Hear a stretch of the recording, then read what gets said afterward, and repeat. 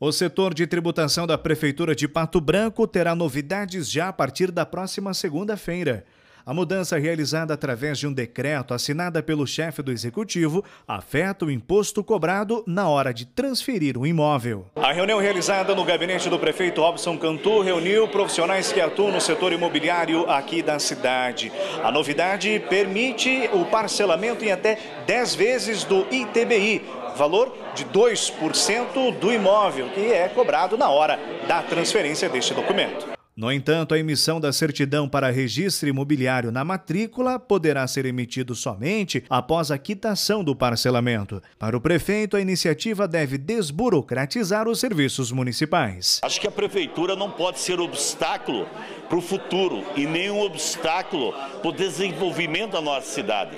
Você está dando oportunidade tá, da pessoa vir aqui, ter o direito de parcelar seu ITBI tá? e ela ter um, um, acesso maior nessa agilizar a sua compra de uma casa. Muitas pessoas vinham aqui e falavam para mim, Robson, não tem como parcelar o ITBI.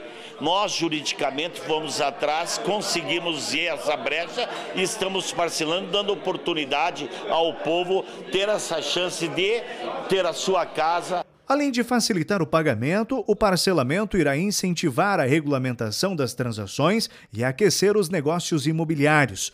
As parcelas deverão respeitar o limite de valor mínimo, que não poderá ser inferior a quatro unidades fiscais municipais, valor em torno de 200 reais. Você escolhe quantas parcelas você quer, vai dar uma, uma facilidade para a pessoa, porque o que, que a gente está vendo? Muitas pessoas estão comprando, não tem dinheiro para pagar o ITBI, né? E deixa aquela, aquela escritura na gaveta. Nós queremos agilizar, e isso que nós temos que fazer, pensar num pato branco do futuro.